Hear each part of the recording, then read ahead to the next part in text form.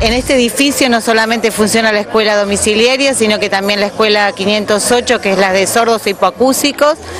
Eh, bueno, nosotros en realidad en nuestra escuela no tenemos alumnos que concurran, sino que nosotros los maestros vamos a los domicilios de nuestros alumnos. ¿eh? Es una escuela que, trabajamos con, todo Avellaneda, funciona en toda Avellaneda, aparte articulamos y tenemos un servicio en el Hospital Fiorito, en el Fino Quieto y en el Hospital de Wilde.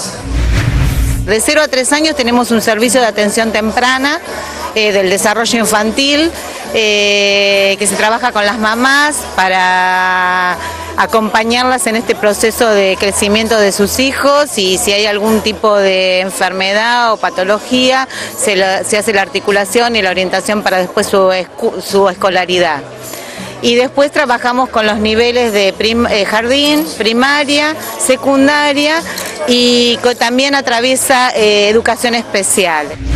El edificio lo tenemos para la... Eh, el edificio en realidad es compartido la escuela domiciliaria lo utiliza para el servicio administrativo, es decir, que todas las escuelas que vienen a traer sus alumnos enfermos se acercan acá y después tenemos atenciones especiales con algunos alumnos con fobias o con enfermedades psiquiátricas que por una cuestión de estrategia pedagógica se los trae acá a la escuela para no seguir en esa situación en la casa, sino que para hacer un pasaje gradual después para cuando estén mejor pasar a la escuela común. Muy conformes y aparte como que se abre una puerta para otras cuestiones, porque ya ahora me acerqué a la parte de empleos y eh, podemos tener la posibilidad de que nuestros eh, alumnos discapacitados también tengan la posibilidad de un empleo. Eh, bueno, todo lo que nos pueda ofrecer la municipalidad para, para trabajar en conjunto. La verdad que fuimos recibidos por el intendente hará 20, 25 días. Somos la primera escuela especial que tiene la jornada solidaria eh, y me parece no, un emprendimiento más que importante porque además es un acercamiento del municipio hacia la comunidad.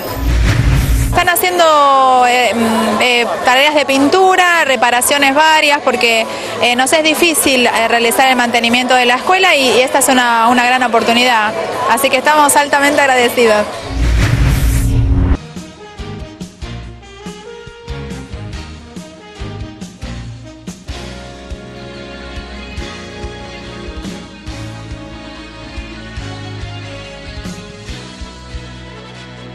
Avellaneda Informa. Subsecretaría de Prensa y Ceremonial. Municipalidad de Avellaneda.